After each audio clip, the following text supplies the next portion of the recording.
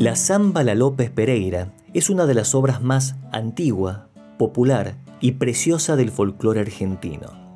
Detrás de ella estarían todos los condimentos necesarios para gestar una historia apasionante. Un desamor, un asesinato, abuso de poder, impunidad, un robo, repetidos intentos de plagio por parte de personajes famosos de la cultura nacional y sobre todo la coronación de la obra por parte del pueblo que la hizo suya y la consagró bajo un velo mítico. La López Pereira es la obra del folclore argentino que más polémica causó y sigue causando hasta el día de hoy. Te preguntarás por qué. Te enumero algunas de las razones. La Zamba La López Pereira es considerada el himno no oficial del pueblo salteño, es decir, la obra predilecta que los salteños cantan hasta el día de hoy. El creador de la López Pereira no dedicó la obra a una mujer, como muchos creen, sino a un hombre. El creador de la López Pereira habría asesinado a su pareja. Esta obra es un gran clásico del folclore argentino y la grabaron los artistas consagrados de todas las épocas. El creador de esta exitosa samba jamás cobró un peso por los derechos de autor y murió en la total indigencia. Mientras tanto, un reconocido músico santiagueño se hizo con el dinero que le pertenecía a este creador. Artistas de diferentes puntos del país se quisieron adjudicar ilegalmente la autoría de esta samba.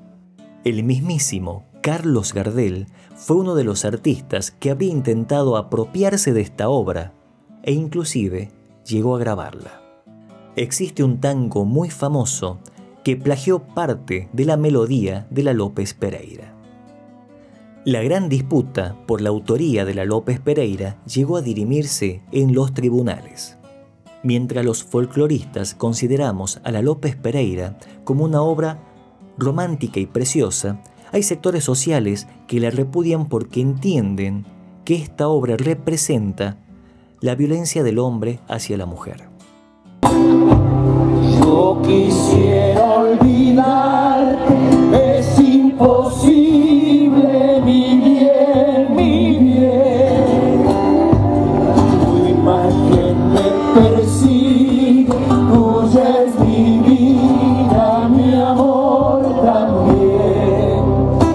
los informes anteriores siempre intentamos desarrollar de manera lineal la historia existente detrás de cada canción.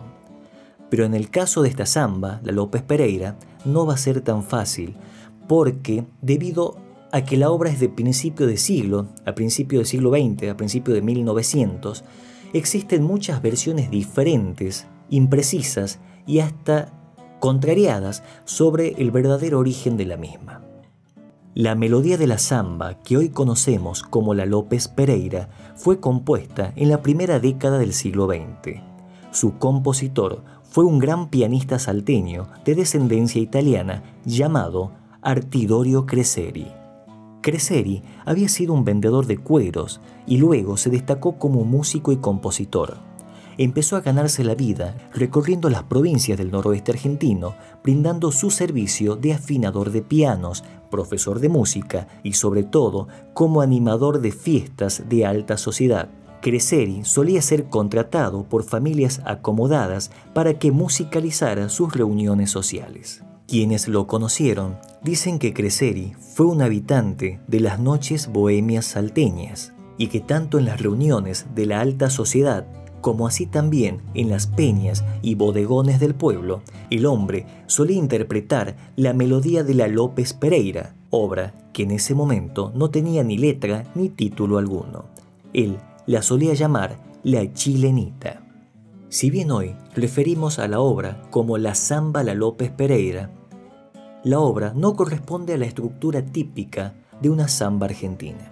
Si prestaron atención, a las interpretaciones de esta obra que hicieron diferentes artistas del folclore argentino, se habrán dado cuenta que esta samba, la López Pereira, carece de estribillo. Una samba típica está compuesta por dos estrofas, un estribillo, luego dos estrofas y se repite el estribillo. En el caso de la López Pereira, solo tenemos cuatro estrofas. Por esta razón, el hombre la llamaba cariñosamente la chilenita. Refería al ritmo de la misma, devenido de la cueca chilena. Algunos sostienen que el tiempo original de esta obra sería la samba cueca. Algunas personas también aseguraron que escucharon al mismo Creseri presentar esta obra bajo el título Cafayate, en alusión a la localidad salteña del sol y del buen vino. Pero llegó un momento en la historia de esta obra en que el mismo compositor comenzó a presentarla bajo el título de La chilena del doctor Carlos López Pereira. Y de ahí surgió la duda de por qué Creseri le puso ese título a su obra. Y según la leyenda popular, todo comenzó con un asesinato. Asesinato que fue llevado a cabo por el mismo Artidorio Creseri, autor de la Zámbara López Pereira. La leyenda dice así, Creseri convivía con una mujer en una casa de la capital salteña. Una madrugada, cuando el hombre volvía a su casa después de realizar una de sus presentaciones, este tuvo una fuerte discusión con su pareja. Al parecer, la mujer en cuestión intentaba abandonarlo cansada de la trasnochada vida que llevaba el músico.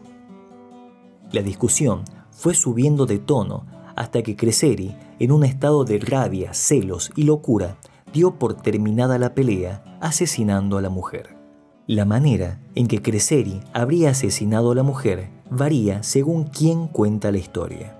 Hay quienes dicen que Creseri, totalmente ofuscado, empujó a la mujer sin intención de matarla, pero ésta, desafortunadamente, al caer al suelo, dio con la nuca en un escalón de la casa, perdiendo la vida de manera inmediata. Otras versiones sostienen que Creseri le habría matado a puñaladas, e inclusive están quienes afirman que el músico ultimó a la mujer con un disparo en el pecho. El hombre, arrepentido por lo que había hecho, dio parte a la policía y terminó preso por el asesinato de su cónyuge, Creseri quedó detenido a espera de su juicio.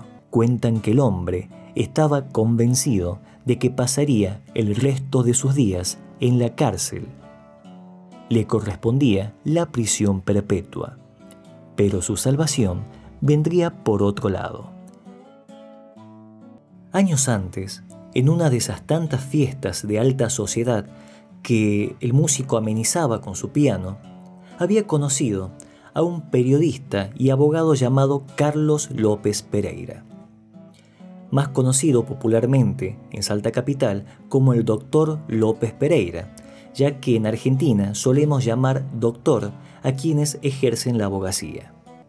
En ese tiempo, Creseri y el doctor López Pereira se hicieron muy amigos. El doctor Pereira admiraba mucho el trabajo musical de Creseri y estaba enamorado de esa chilenita que Creseri siempre tocaba en las fiestas, sin imaginarse que años posteriores esa misma pieza musical llevaría su propio nombre. Tiempo después, cuando a Creseri le tocó enfrentar su juicio por el asesinato de su pareja, tuvo la gran suerte de que el juez que le dictaría sentencia sería el mismo Carlos López Pereira.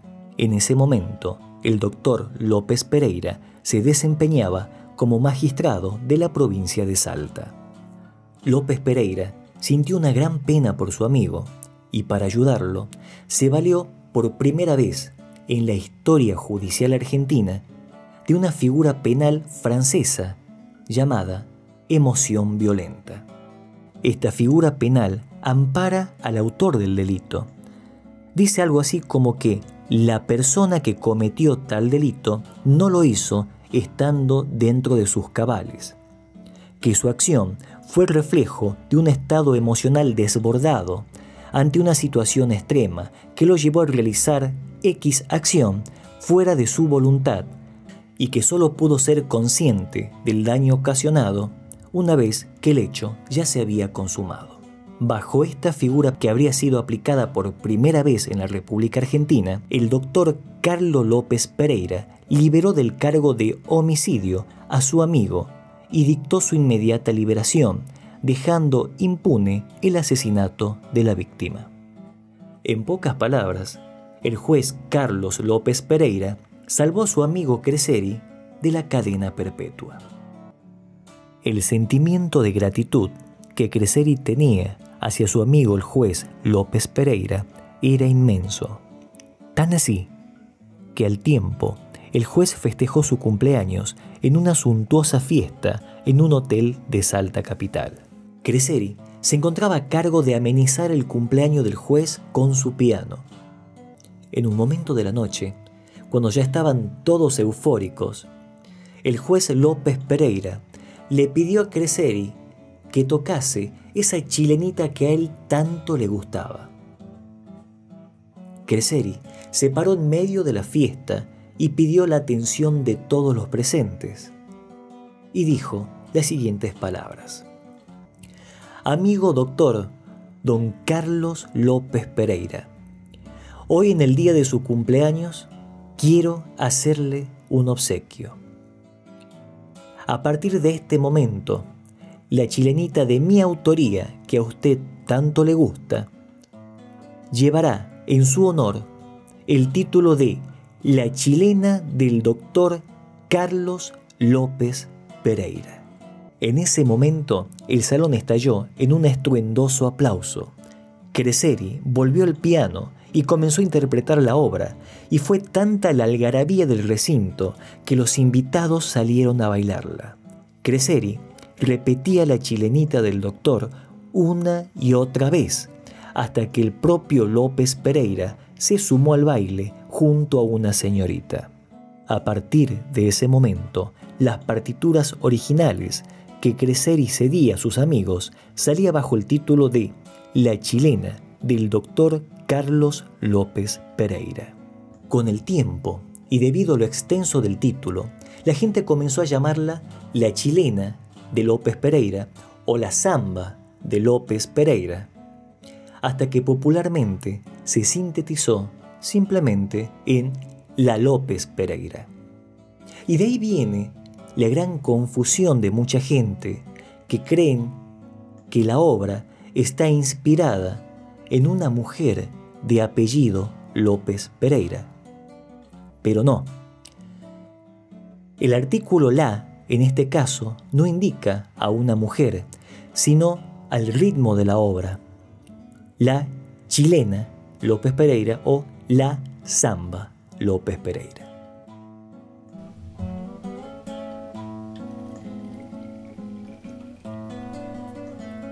¿Cómo repetir López Pereira?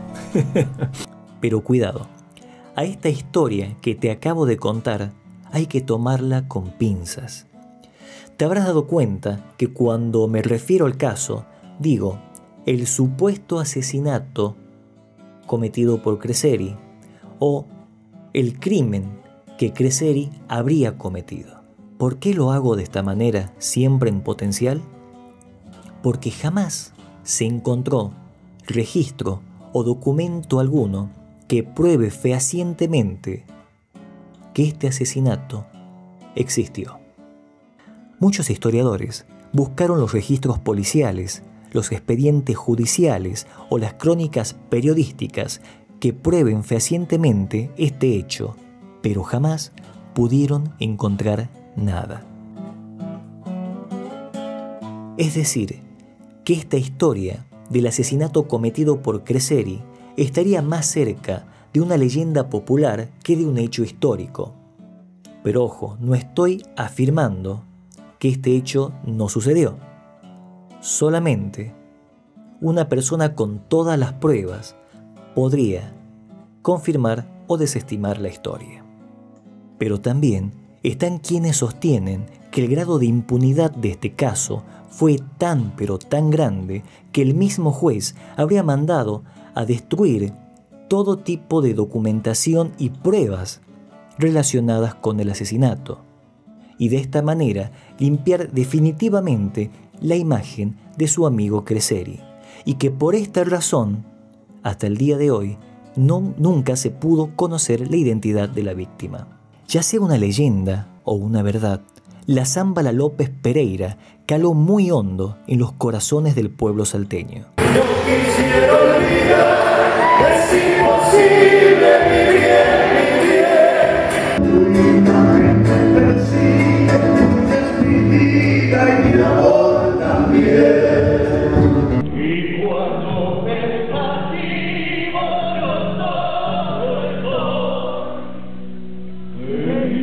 si tenemos que hablar de los autores de la letra que hoy conocemos en la López Pereira, es una historia aparte. La historia de esta samba estuvo signada por la polémica y las demandas, como el caso del afamado músico santiagueño, que llegó a apropiarse de esta obra y que por un largo periodo cobró los derechos de autor que no le pertenecían, mientras Creseri, el verdadero compositor, moría en la total indigencia. O, o, esa historia de cuando Carlos Gardel, sí, el mismísimo Carlos Gardel, se atrevió a firmar como coautor de esta obra e inclusive la grabó. O el caso de un famoso tango que lleva en su melodía fragmentos de la López Pereira. Todos estos sucesos constituyen otra gran historia, donde la injusticia sigue muy presente. Y como es otra gran historia, te lo voy a contar en una segunda parte en el próximo capítulo de Historias del Folclore, aquí por Luna Tucumana Radio. ¿Por qué? Porque la López Pereira se lo merece, porque es la samba que solemos pedirle al amigo guitarrero cuando le decimos, toca una que sepamos todos, aunque en realidad sepamos muy poco de ella.